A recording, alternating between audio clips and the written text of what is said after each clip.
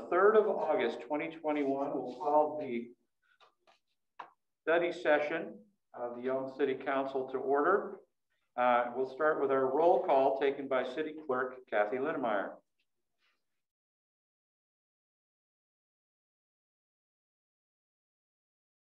Councilmember James Blair. Councilmember Molly Carmody. Here. Councilmember EJ Curry. Here. Councilmember Holly Smith. Here. Councilmember Tracy Wood. Councilmember Joe DePinto. Here. Councilmember Terry Kaminsky. Here. Mayor J. W. Foster. Also here. Uh, thank you. As I said, uh, Tracy called in and said that he'll try to uh, log in in a little while. He's having an issue that he needs to deal with. Um, you'll also notice people who are tuning in that we are still in uh, hybrid mode. We have council member Curry and myself in uh, council chambers along with some staff. And uh, we will also, we the rest of you are all on Zoom and this would be on our YouTube later. So we're gonna just launch right in. Um, as we get to certain elements on the agenda for tonight, we'll update you on, uh, on those things. We're going to start off first with our very own Michael Malik, who's going to give us a Parks Advisory Committee update. Good evening, Mayor. Good evening, Council. As a staff liaison to the Parks Advisory Committee, I come to you today to present the committee's request to utilize a portion of the recently acquired land for the WRF access road as a future site of an off-leash City of Yelm dog park. Not only has this project been an action item on the Parks Advisory Committee annual agenda and parks plan for multiple years, but it is, it is a highly requested amenity within the community. On June 22nd, City of Yelm project manager Patrick Hughes presented council with the professional service agreement and scope of work outlined from Skillings Incorporated this included site grading, restroom, security fencing, landscaping, and utility services that would accommodate both the new access road and the recommended dog park. Our committee would hope that you consider our request and move to dedicate a section of this land to this project.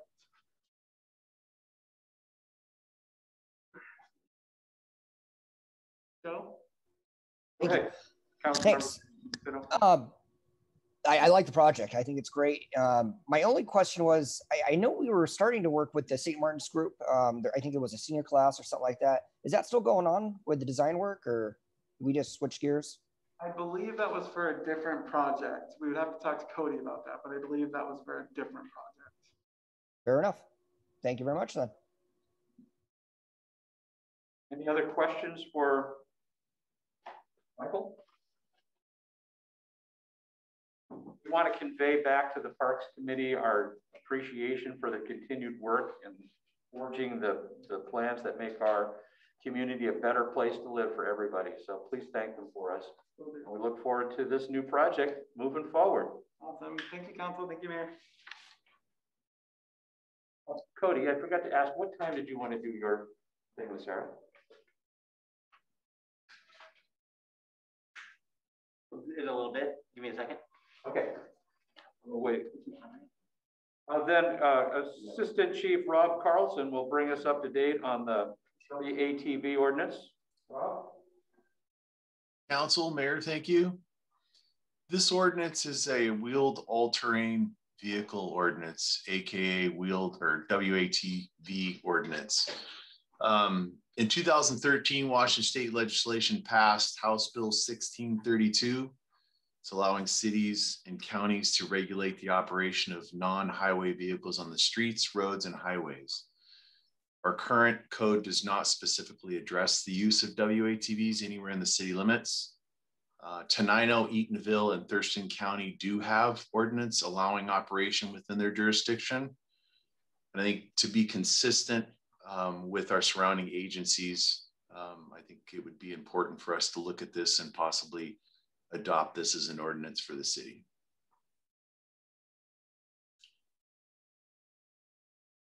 Councilmember Carmody? Yeah, have we ever, have we actually had any um, citizens requesting this? I think that, uh, not to me personally, but there has been folks inquiring about it. And I know that uh, my time on patrol, I've, I've stopped a few people that have had their WATVs working in the city.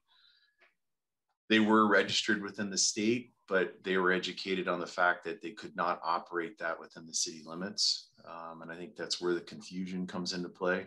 Um, folks in the county come into the city and they don't understand that that's just because they get a registration within the state doesn't mean that they can just operate within the city limits of Yelm. Okay, thanks. Actually, uh, Molly, a young man in the community, Chase, uh, came to me a couple of months ago with this very question, and he pointed out to me that our ordinance was not in, uh, was not jiving with the counties and other communities nearby. So I took it to Chief Stancil, who did the research and said, well, what do you know? And uh, that's what we brought forward now to the Public Safety Committee and you all to try to align us with these other ordinances. Uh, so people don't have to guess which kind of, which city line they're crossing and which ordinance they have to follow. Councilmember Blair? I was just gonna say I had two or three people talking to me about it before this came up too. Go. So nice to be able to respond to uh, requests from the community. Uh, does council have any issues with this as it's been presented, or could we uh, expect to bring this forward as an action item at the next council meeting? All right, so Rob, if you'll go ahead, um, we'll we'll get this scheduled for the next or the next council meeting for them to uh, consider action on. Perfect, we'll do. Thank you. Thanks for your work on that. Yeah, okay, we are going to interrupt this agenda for an important announcement from Public Services Director Cody Colt. Cody. Thank you, Mayor Foster. Um, Sarah, if you're on, can you turn on your camera? I've been told, there she is. So you might recognize that chair. It's similar to mine, but it's pink instead of blue. Um, this is uh, Sarah Williams. She's our new assistant planner. Um, she started on Monday. We're excited to have her, but as customary, we brought her to a council meeting, at least virtually, so you guys could meet her and just we're um, learn a little bit about her. We're just excited. She's coming to us from Pennsylvania. Am I correct in that, Sarah? Right? Ohio slash Pennsylvania, both. yeah, Ohio slash Pennsylvania, um, home of the Liberty Bell.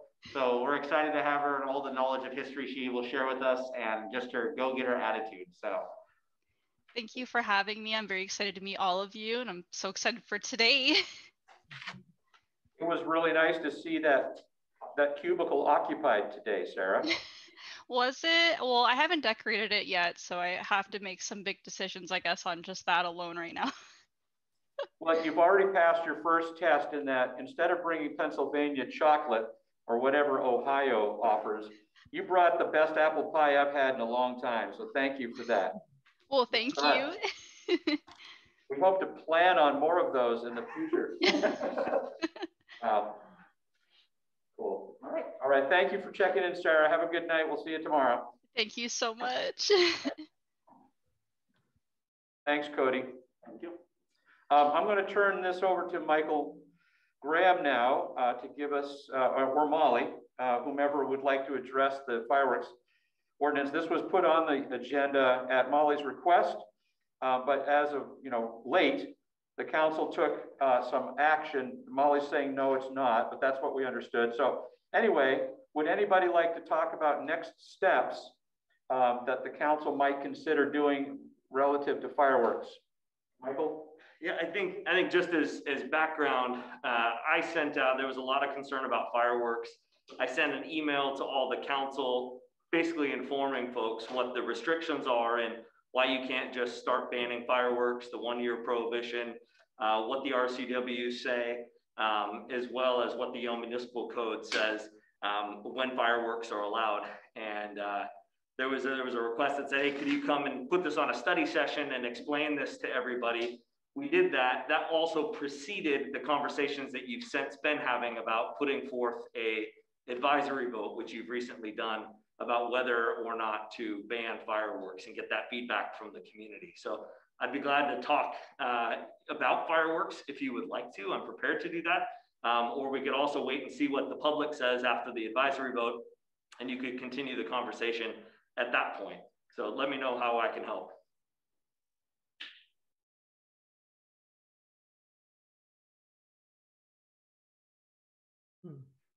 Okay, I'm not seeing any questions from council on this, and it's probably because of the action uh, you took on uh, Monday. Uh, So the expectation is then after the general election in November, see what the voters say, and then the council could take steps um, to implement the will of the people or the will of the council, uh, which would then take effect in 2023.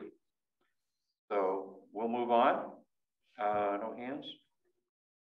And this is moving well along quite nicely because um, some late breaking news about the American Rescue Plan funding mechanisms. Michael's been doing an incredible job communicating with our partners at the uh, federal level and uh, state commerce level. And we have some, some new information come to light uh, regarding how we can best take advantage of those monies. Uh, and so we intend to bring this to you. Um, did we set a date for that, Michael? As soon as we hear back from the. We have one question left to be answered from uh, them, and we're going to bring you some uh, information back, probably in the form of an executive session prior to an upcoming meeting. So stand by for that. And uh, it's looking really awesome um, ability to use those monies to benefit Yelm. And so Casey, I know you were expecting us to talk longer um, about that, but with uh, no further ado, if you're ready, could you update us on the uh, on plan? Yeah, certainly. I did see a hand up from James Blair that was put down. I didn't know if you wanted. James, did you have something to add before we start with Casey? Um, I was just regarding that rescue plan money. I just, I think we should be a little cautious about that personally. Um, I don't know where everyone else is, but I think we've added on enough debt in this country. I don't really feel like taking part in it and adding any more.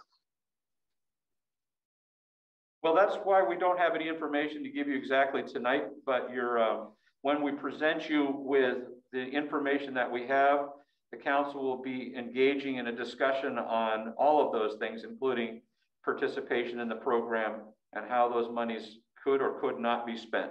So we'll look forward to that discussion at a later date. So Casey, you want to fire it up? I would love to. Can everyone hear me, see me, see my screen? Yes, yes. Okay. I am Casey Mock, the assistant planner, one of the two. And tonight I'll be talking about our 2021 comprehensive plan and development code updates that our planning commission has been working so diligently on. So first, I'm just gonna go through the docket. Um, it's a pretty short PowerPoint, and then I'll go through some questions at the end. So the requests that came in this year, um, we do annual code updates, are to allow drive-through establishments in the central business district zone, increase the density in commercial zones in mixed-use developments, allow chain link fencing, um, review the regulations for RV and mini storage, waive fees for nonprofit housing, review regulations for tiny homes, and we had a rezone request to rezone several properties in our industrial zone to moderate density residential. So the first request was to allow a pharmacy. Uh, Casey, do you mind if we interrupt with questions as you go? Please do. Councilmember DePinto? Sorry. Um, Casey, could you go back one slide? I was wondering if you could talk about the um, waiving fees for nonprofit housing, um, just how that came about, or what the, who's that for, or what that's for. Yeah, so I will go into a little more detail on each one, um, but I can tell you that we were asked to look into this, um, I believe, by council. Um, and eh, the re request wasn't very specific in terms of, you know, which fees are we looking at? Um, and that's something I'll get into when we get further in the PowerPoint. And then I think I'll be able to answer your question a little more fully. Sound, sounds good. Thank you. Okay, so the first request was to allow pharmacies to have drive-through windows in the central business district. Currently, our code prohibits any drive-through establishments in the central business district. However, they are allowed in other commercial zones. The Planning Commission came to the consensus that non-food serving drive-through establishments in the central business district should be allowed and drive-through traffic should be restricted to exit onto a street other than Yelm Avenue and First Street. Um, this recommendation was based on the impacts that food serving drive-through establishments have. They generate a much higher number of trips than say banks and pharmacies. Um, and so that was why that regulation came into place. Um, and while individual drive-throughs will be looked at at the time of permit to make sure they have adequate queue space for the incoming traffic, um, we just wanted to keep a tighter regulation on the exiting traffic, and that was how that recommendation came about. The next request is to increase residential, resi residential density in the mixed use developments in the commercial zones. So currently in our commercial zones, we allow mixed use developments, which means a mix of residential and commercial. Um, our current code states that you can have no more than 60% residential in the form of apartments, and you can have up to 16 units per acre. The Planning Commission recommends upping the density allowance to 32 units per acre and having no more than 66.6 residential. This number was reached to allow uh, two up, one down apartment buildings with commercial on the bottom. And we also, our code doesn't currently state how much of the commercial component needs to be constructed prior to the opening of the residential.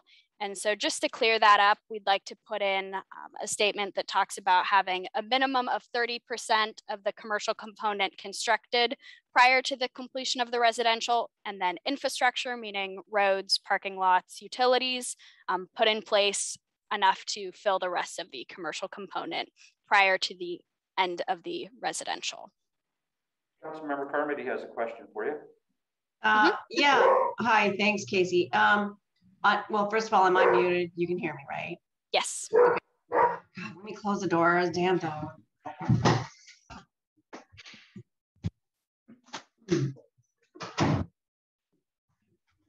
Okay, sorry about that. okay, so um, thank you. I was wondering, so this is in the regular old commercial zone, not the CBD, right? Correct. Okay. Do we have, I cannot remember, do we have a, a height limit on buildings in commercial zones? We do. I believe it's 35 or 40 feet.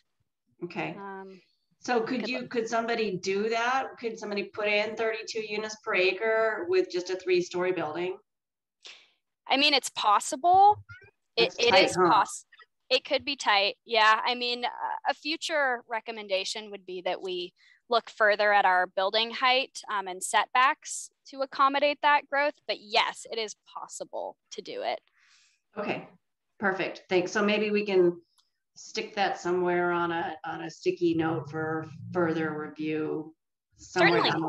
Okay, thanks. Yep, I can throw that in my docket. Thank you. Mm -hmm. Okay. The next request was chain link fencing. Currently, our code prohibits chain link fencing when visible from public right of way. Um, there are exceptions for facilities that require chain link fencing by the state, you know, um, Homeland, Homeland Security requires some essential facilities, schools, etc. But in general, um, most developments are not allowed to have it. The Planning Commission recommends that chain link fencing is allowed. Um, and then if it's adjacent to the right of way, you are required to have a dense landscape screen, which is defined in our code as a 15 foot width landscape barrier, or if it's visible but not adjacent to the right of way, um, you we would require the standard eight foot perimeter landscaping on the outside of the chain link fence. And we do have a stipulation in here that the landscape requirements may be modified or waived if staff finds that distance would make landscaping unnecessary. The planning commission found that this language was important because if you have, you know, empty land and a chain link fence 300 feet away, we need some way to make sure that we're not putting an unnecessary burden on developers. Moving right along, uh, the next request is, was to review design standards for RV and mini storage. currently, RV and mini storage are allowed in our C2 and C3 zones. That would be the heavy commercial and large lot commercial, but they have to be 500 feet from an urban or major arterial. Um, that includes Yelm Avenue, 507, in addition to Bald Hills, Canal, Grove, Stevens Coates Connector. Um, so, you know, few roads in town. The Planning Commission did not want to change the existing regulations. However, they did want a note put in here that they understand that a future update to our transportation system plan, which is probably coming in the next year, um, could change which streets are classified as arterials. And at that time, it would be appropriate to revisit this standard. Okay, the next request was to consider fee waivers for nonprofit housing. Currently, our fee schedules allows permit fee waivers for nonprofit corporations that are registered with Washington State. Um, the Planning Commission did not recommend to change any existing regulations. They did state that they look favorably on fee waivers, um, but they would want a housing needs analysis completed, which would be something that council initiates. And this is a formal report that quantifies our current housing stock and needs and projects out to the future uh, you know, what housing stock we'll have and what types of um, housing situations we'll need. And the other thing that we did want to mention is our fee schedule is put in by ordinance. And so it is not a code update or a comprehensive plan update that would change that. Um, it would be um, probably something that the finance team would need to look into. And Molly, I see you have your hand up.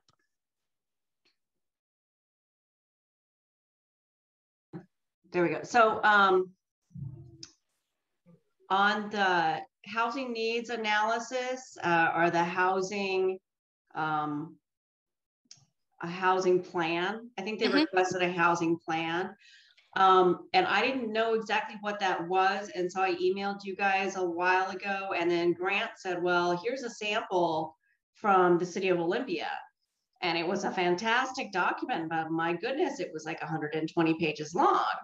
So my question is, um, does the planning commission want us to pay for a housing plan to be done? I don't, and how much does a housing plan cost? You know, that's, I mean, it's a great idea, but I know that it's not going to be cheap. So um, what kind of money are we looking at down the road to do some kind of a housing plan? Yeah, that's a good question. So it would be something that we would need a consultant for and we'd put out an RFP for. Grant, I see you're ready to take this question. Only if you need. Well, I'll put in my two cents. Um, first of all, just to clarify the language, the housing needs analysis is a portion that's contained in the housing um, action plan. So you know, the fee waivers, it's all contained in one document. And just for the benefit of everyone else in this call, a housing action plan is a document that, you know, quantifies our needs and our stock, but it also comes up with very concrete strategies for, you know, what we can change in our code and our comp plan, in our permit process. So it's a pretty focused document that gives a lot of, um, a lot of pointed advice. As for cost, Grant, I would love for you to take that.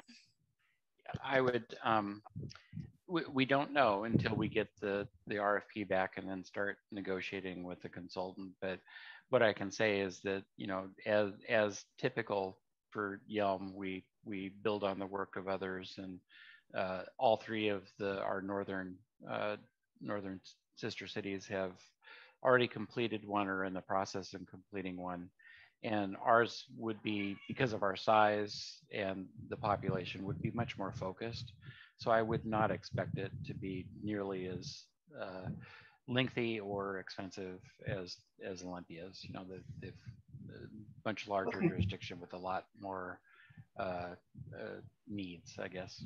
Of course. Yeah. Do you can is there any way that you guys can get us some sort of a ballpark number so that we would know what kind of numbers we're talking about just cost wise you know? Yeah the the recommendation of the planning commission you know i think um, and you've already taken that forward to to propose it as part of the next budget amendment. And as part of that process we would uh, try to vet out more detailed so we can put together a budget proposal for you to take a look at okay Thank you. And your cat is very cute. Uh, no, he's kind of a jerk, but That's okay. He's still cute. Okay. We only have a couple left. The next request was to review regulations for tiny homes and or other forms of alternative housing. So currently we don't have minimum lot sizes in our residential zones. So nothing on the land use side technically prohibits tiny homes, although tiny homes struggle to meet the International Residential Code um, in terms of, for various reasons, ceiling height, um, energy code, a few different things. The Planning Commission recommends that we update our municipal code to incorporate the International Residential Code Appendix Q. And this is just a very short appendix that gives tiny homes um, ways to meet the building code and be up to code. Um, in terms of thinking larger about tiny homes and alternative housing, um, this is something the Planning Commission, again, would like council to initiate a housing action plan for. Um, they don't feel ready at this point to make any decisions in terms of, you know, what they can do to have tiny homes or other forms of alternative housing.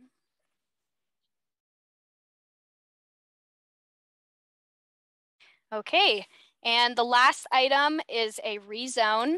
So the two parcels shown with these blue stars um, requested to have their parcels rezoned from industrial, which is this purple, and into moderate density residential, which is this tan color. Um, and we found that the logical boundary was to include all these 10 parcels outlined in red. Um, this is Northern Pacific Road that borders them on the west.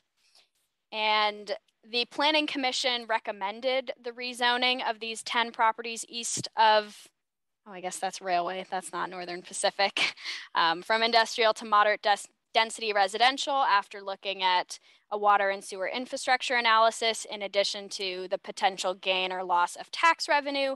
We also held a public hearing um, and received several positive comments from property owners in that rezone that they would support the rezone. And we do still have vacant industrial land left in our city limits. Okay, that is it for me. What questions can I answer? Go ahead, Molly, then Terry.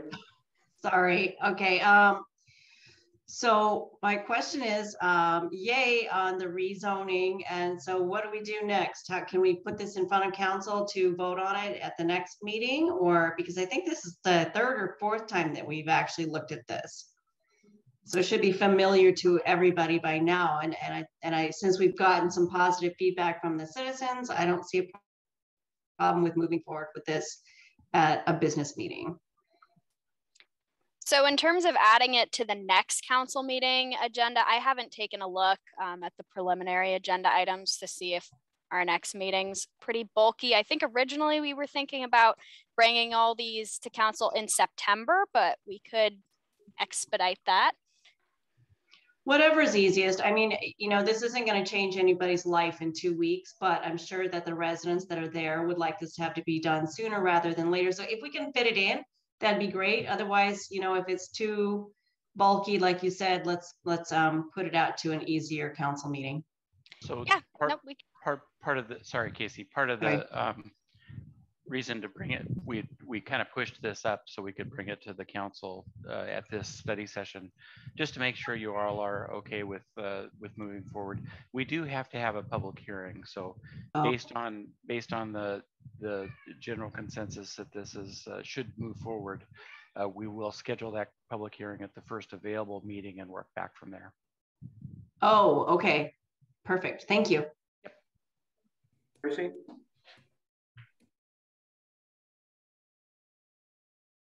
Sorry, Terry. Then, then we'll come back.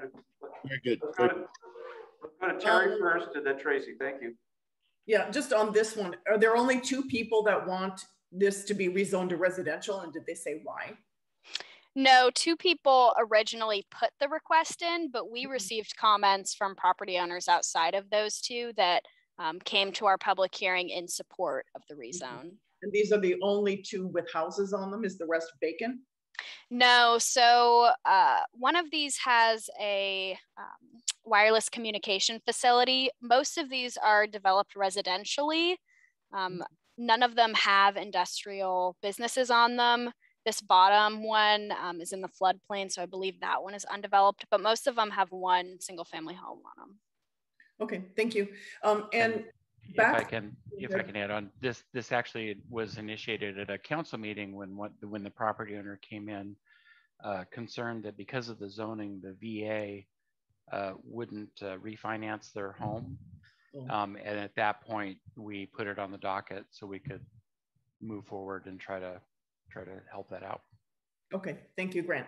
Um, back to number one, is it only the pharmacy on the corner that is affected by this one change? No. So this would apply to all non-food drive-throughs in the central business district. That could be banks, pharmacies. But how many, on... are there, how many are there actually that exist right now in that district? It's a great question. Grant, you want to take a stab? Well, I guess uh, I think right now there's only one pharmacy, but this would give the opportunity for other businesses to either locate on vacant property and incorporate a drive-through if they're a non-food service industry, or if a new tenant moved into an existing building and they had an opportunity to, they they could uh, do the same thing. So eh, I guess it affects the entire central business district. There's one business that we can picture that would benefit uh, potentially immediately. Right. And you said before that we would require a traffic study to approve this. Is that correct? So we require a traffic study in general when a use is expected to generate 25 or more new trips. Um, we do technically have the right to initiate um, environmental review below that threshold if we wanted to, um, but I believe our general standard would be that 25 or more new trips would generate a traffic study. Okay, so that would also include the, uh, the potential commercial rezoning with residential, that, that a lot of it is on our main thoroughfare. And we already have bad traffic, so I'm just asking. Yes, and that's why Planning Commission was very careful that they don't want drive-through traffic exiting onto, you know, one of these main thoroughfares and part of the review when a drive-through comes in would be that we need to they need to show that they have adequate queuing space so that cars are never backed up into a street. Yeah, no, I'm I'm asking now about the commercial rezoning for mixed use residential 32 units. Although oh. commercial is on the main road. So you would definitely need a traffic study for that. Oh yeah, these mixed use developments certainly generate enough trips to require environmental review. Um, the majority of the time, you know, if if a development project wasn't expected to generate 25 new peak PM trips, it probably wouldn't have a big impact at all. So anything that you know, any mixed use development, anything with three floors, you know, definitely would require a study. So the order is we approve some kind of recode, then the traffic study, and if we don't meet that traffic study, it gets aborted. Is that right? So usually the way that um, it goes is a project, they'll put in their permit application um, and we let them know you meet the threshold for environmental review, which environmental review includes traffic as well as noise, stormwater, you know, traditional environmental factors, um, and pocket gophers. And so traffic would be one part of that where we look at traffic in terms of levels of service, um, which is, you know, the average number of seconds that drivers are delayed at the peak traffic hour. And if a project dropped our projected level in service significantly or dropped it below adopted standards, um, we wouldn't, we would only allow the project with mitigating measures. So for instance, when Walmart came in, you know, they had to build Walmart Boulevard. Um, and so we wouldn't, you know, necessarily deny a project. We would just force them to do mitigation measures. And if they didn't agree to that, that would be when a project dies. Okay, thank you. And one more quick question. I'm sorry, but you kind of lost me on the fencing. This Mhm. uh, metal fencing or whatever you're calling it, this this is for for what now? For neighborhoods or for? Can you review that again quickly? Yep. Which fences are we talking about? So this would be anywhere in the city that wanted to put in chain link fencing. Um, and the planning commission recommends that we now allow chain link fencing as technically right now, we do not allow chain link fencing anywhere in the city. Um, so we would allow it in the city, but with the caveat that, you know, if it's adjacent to the right of way, you need a 15 foot dense landscape screen. If it's visible from the right, right of way, you need an eight foot perimeter landscape, which would be trees, shrubs, etc., um, to kind of screen the fence. And do you know why they recommended this change? Is, is it just because the wooden fences are falling down all over the place? Is that why? I think part of the reason that the planning commission felt this way is because chain link fencing can be a cost effective alternative um, for you know keeping a property secure. Some developers may not want to pay for a very expensive fencing option that actually protects their property better than a wooden fence. Um, i think that was part of the reason for the change and you know the reason that our code prohibited chain link fencing was due to the aesthetic impact and planning commission felt that if we could mitigate that negative aesthetic impact then there's no reason we shouldn't allow that- people to put it in would Cover city lots, like you're in a neighborhood and instead of a wooden fence, you have chain link fences between the houses? i If mean To do that? so with residential you know neighborhoods and subdivisions they are required to do perimeter landscaping and we accept wooden perimeter landscaping. I don't see why a developer would ever put a chain link fence in a neighborhood and if they did they'd have to construct perimeter landscape all around it. So it would be most favorable and cost effective for them to put in um, a wooden fence. You know, this is really more pointed for um, industrial and commercial uses that wouldn't be putting in a wood fence and they don't want to pay for an option other than But if you allowed it, then I could tear down my fence and put up a chain link between me and my neighbor. I'd be okay with the city. As long as it was okay with my neighborhood CC&Rs. if you No. had perimeter landscape around it, which it's an eight foot wide perimeter landscape. And if it's adjacent to the street, it- it would be a 15 foot wide perimeter landscape. So it's a pretty hefty, I mean, if someone really felt the need to have chain link fencing, they could with landscaping around it. No, but this is not, not on right of ways. I won't tie up the meeting with this. I just was trying to understand what you're talking about. It- It's fine. Councilmember Wood, then Carmody. Um, my curiosity on that last topic is, is when did we, when did the city decide that chain link fencing was not allowed? First question. Grant, were you there or was it before you? I think that started back in the vision plan. It was part of the vision plan and part of the initial zoning code that was adopted after the vision plan. About 1995, I believe. Mhm. Okay, so twenty-six years ago, we decided chain link fencing shouldn't be allowed, or someone decided that chain link fencing shouldn't be allowed. And the advances in chain link fence technology have leaps and bounds as far as the uh, things that you can, the, the slats, for example, that you can put in all different shapes and colors and sizes. It just seems like an antiquated rule um, that's kind of, I mean, that just, I mean, and I agree, we should allow chain link fencing, but it seems like we're getting a little bit pushy as far as, you know, okay, we'll allow it, but you have to do this, that, and the other thing. It just seems like something, you know, and of course, this is just my, my opinion, but I think we ought to eliminate the rules on this within reason. I mean, obviously, I don't, I don't agree with people putting six foot chain link fence across the fronts of their property along the road, but, uh, you know, if, if people want to put a, if, if council member Kaminsky wants to put a six foot chain link fence between her and her neighbor's backyards, I just fail to see where that's an issue with, uh, with the city on any level if, uh, you know, if her, if her HOA is okay with it. Um, secondly, I was wanting to talk about the commercial property rezoning. Did we, has it, have we heard any, any negative from anybody as far as whether that's, you know, was there any negative feedback on that? Did anybody have a problem with it at all that we've heard, heard from yet? Um, do you mean the industrial rezone? Correct. This yeah. guy?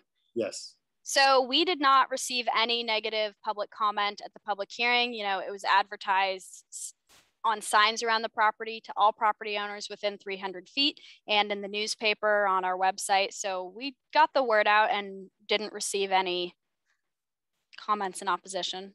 Well, thank you very much. I appreciate that. First, I saw James, then his hand went down. Then I saw Joe, and then Terry, then Molly. Tracy hit what I was going to say regarding the fences. So Joe? Thank you. Um, my question is, does moderate density allow for apartments to be built there? Yes. It allows um, a variety of types more than any of the other residential zones. Is that road, um, can that road handle a lot more traffic? Not real, um, I'm guessing they would exit on, uh, not railroad, but the other one. Northern Pacific. Yeah. Or- Or no, not, not Northern Pacific, the other one. Um, towards the bottom of that screen. The east of Oh, it. right Yeah, here. that one and the other side going up. Yeah, so um, part of the uh, review that we did was to look at transportation impacts, and we did find that it could handle it. You know, if all those parcels developed out industrially, it could mean more traffic than if they were built out residentially. And in addition, as these parcels develop, they'll have to do half street frontage improvements, you know, put in sidewalk, street trees, etc. So yes, that was one of the things that we looked at. Fair enough. Thank you. Terry, then Molly? How was it allowed that a residence was permitted to be built in an industrial zone in the first place? pre-existing non-conforming use is allowed under a previous code. Back in the day, this was, I believe, zoned agriculture, one unit per five acres. Yeah, it was farmland. Okay. Yeah. And then afterwards it was zoned industrial. Okay, got it. Molly? Yeah, um, yeah, my question is, uh, still about this rezoning. And so you're saying that you already had the public hearing and now I'm being told that we need another public hearing? Part of the rules, yes. State law mandates um, public hearing for planning commission and public hearing before city council. Clarification, Casey, I think the confusion is the public hearing was on uh, asking the neighbors about the rezone. This public hearing would be on the adoption of the update to the comp plan. Is that right? Including all of the recommendations that the planning commission has put forth? So the original public hearing was also for all of the recommendations at once. It's just the second one. Hmm. Okay. So why do we have to have two? Why couldn't we have had that one just cover both of them? Any development regulation or the comprehensive plan has to have a public hearing at the planning commission. And then before adoption and enforcement, the growth management act Okay. requires uh, a hearing and action by the city council. So, So one was the planning commission level and this one's council level. Okay, Correct, I understand now. Thanks. Okay, Terry? Um, I can think of several properties on Yelm Avenue that have chain link fencing. So is this not allowed currently? So it, uh, again, I believe that would be pre-existing non-conforming. Some of these, you know, if someone had chain link fencing before and it was damaged, we would allow them to repair it. Usually we wouldn't force them to replace it just if it needed a little repair. So I believe that is the case with a lot of the chain link fencing in the So city. Oh, they would have been there before the vision plan grant. Okay, all right, just asking. So Terry, like that big chain link fence on the storage unit there on the corner of Grove Road and, and Yelm Avenue or Highway five ten, that was there before the, the code went into effect about the chain link fencing, and in fact was one of the motivators for the vision plan members and the comp, and the planning commission at the time to put those rules in place so that you didn't have a big ugly gray uh, chain link fence as the beautiful entry to Yelm. That was part of. I saw a hand fly up. Was that Holly? I was Just gonna say, I do have some chain link fence in my backyard. It's been there since ninety-six, just saying. You're good.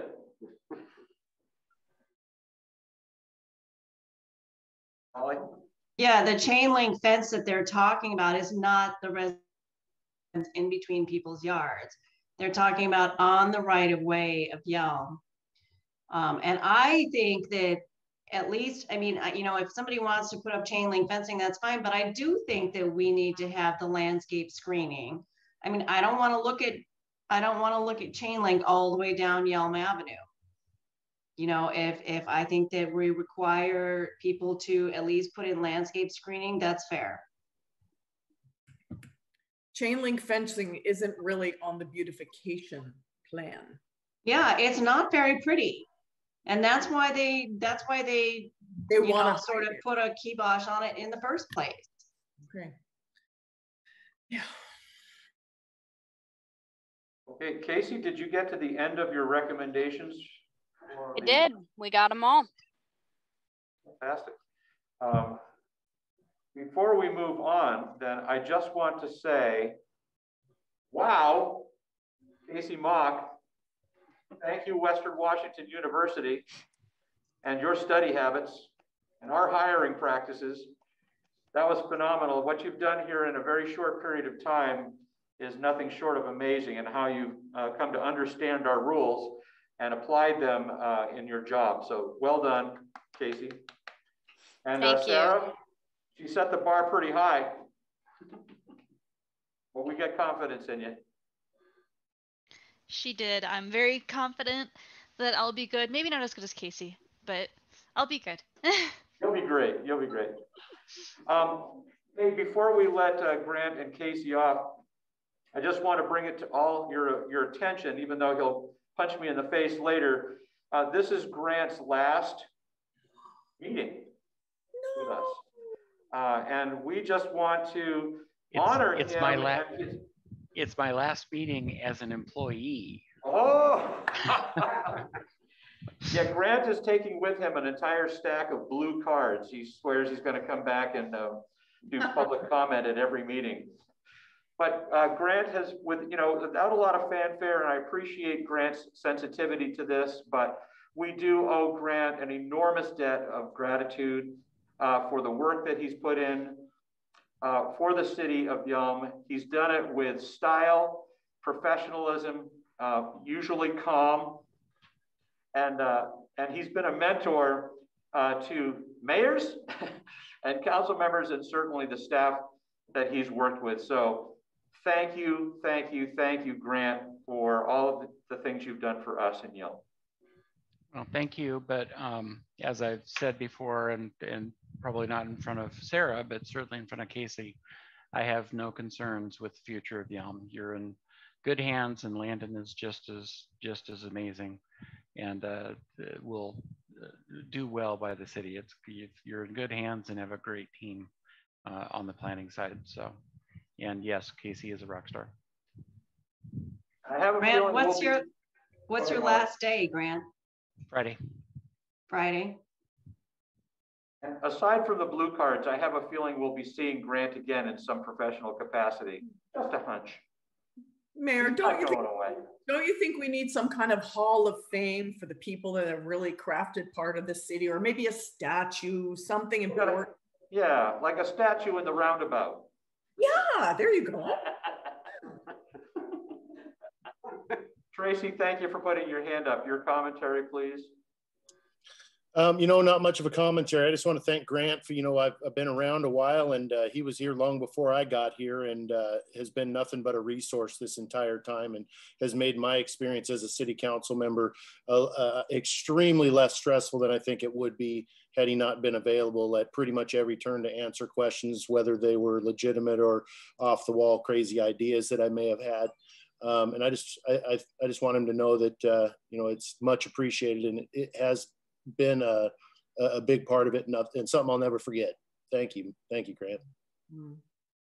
And long before I was on city council, Grant and Tammy were the only people I knew on the city that worked with me as a, as a broker in real estate, always there to answer questions and help with things. So thank you, Grant. You're, you're dead to me, Mayor Foster. I have achieved my goal. Thanks, Grant. You can pay me back later. Um, okay, um, we're going to go on. I don't have any specific report. We've covered a lot of stuff tonight. I know we're all eager to uh, go home and see what the voters of Thurston County feel about the measures on their ballots. Uh, but we do have an opportunity for council member initiatives. We'll start with council member Blair. I've got nothing tonight. Council member Curry.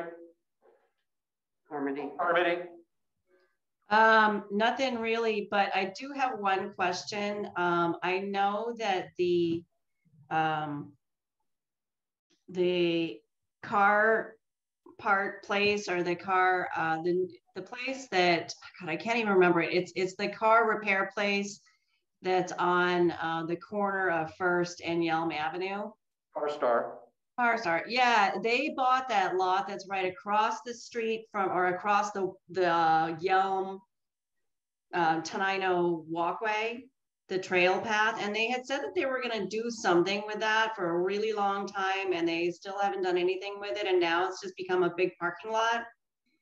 And I'm wondering what's going on there. Um, and, you know, I mean, if you want to talk about driving past not very attractive things in Yelm, that would be one of them.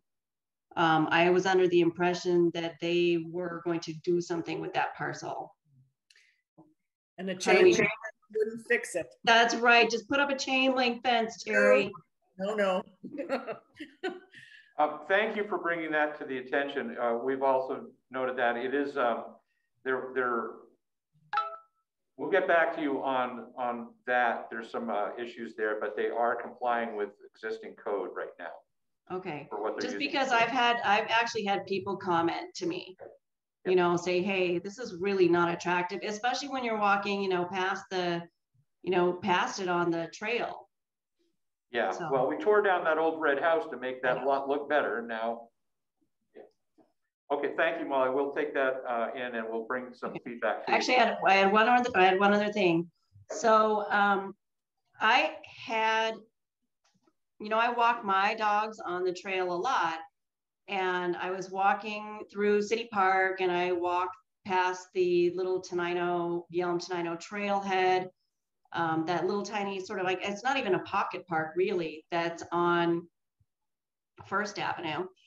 And I was wondering, you know, it would be really cool to have some sort of dog drinking fountains along the way. Um, you can get the ones that you know are kind of auto filling that have a that have a, a float like a toilet, or you can have ones with like with like a push button where a human pushes the button and fills up the water bowl. And um, you know that would be really cool, and it's a really cool amenity for people to walk their animals, especially in City Park. Um, but I, I talked to Public Works Director Cody Colt, and he said, well, unfortunately, all that water is reclaimed water, so animals aren't allowed to drink out of it. And I said, well, that's kind of a bummer. Who do I talk to? And he said, ecology. So I did. I called, um, I called resources, and they said, we don't have a problem with you using the reclaimed water of your own because it's your water. We don't need to issue you an extra permit for it. And I said, well, that's great, but can we actually give this water to our pets? And they said, I don't know, you need to talk to water quality. So I went and I talked to water quality, and they said, absolutely, you can do this. We don't see a problem with it. Um, and I said, that's great. Can I get it in writing? And she said, sure. I'm a little backed up. It's going to take a couple of weeks. But um, from what I can tell, ecology has no problem with giving, you know, letting us use the reclaimed water our class A reclaimed water, which is drinkable for humans by any standard, um, and making it, um, you know, using that water for little water fountains for, for pets. So, um, that being said, I'm just kind of waiting for a, you know, an affirmative something in writing from her saying, yeah, we can do this. You know, I mean, there's a, a phone call is is always a nice thing to have, but it's not in writing. So I'm waiting for something in writing from ecology saying that we can do that. and then I'd like for us to start thinking about doing that sort of thing.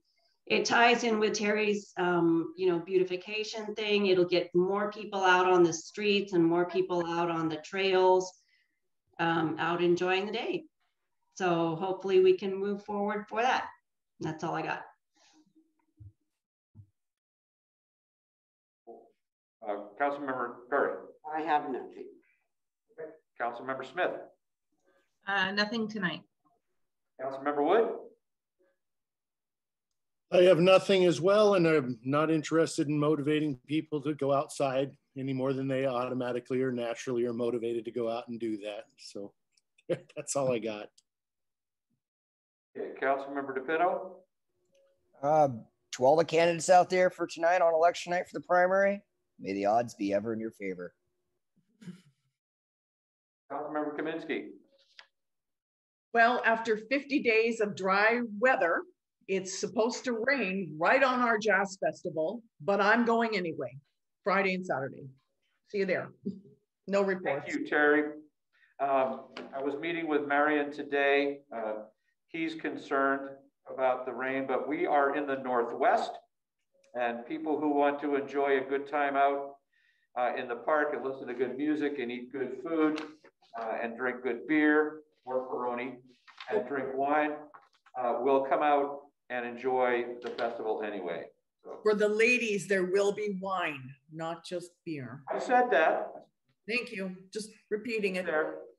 Yeah, it's going to be a great festival, as have the last two festivals. The Barbecue Rally and the Mermaid Festival were both enjoyed by many, many people in our community and from around the region who came out here to Yelm uh, to enjoy what Yelm has to offer. So, and you can't pass up an opportunity without saying again, thank you to the Parks group, uh, especially Tony Reese and Emily and all the guys uh, who did a great job on maintaining that park through all that heavy traffic. It's really awesome out there. So hope to see you all out there.